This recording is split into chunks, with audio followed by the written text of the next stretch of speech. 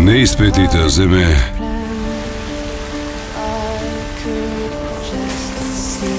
kur cilvēkiem nav vietas,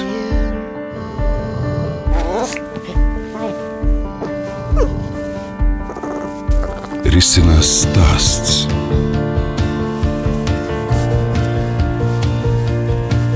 Par dzīvi,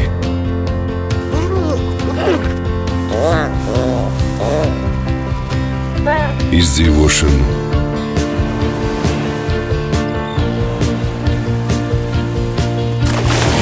Синю.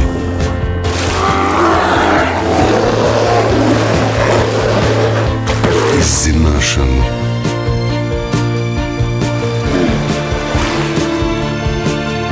Унамилистый.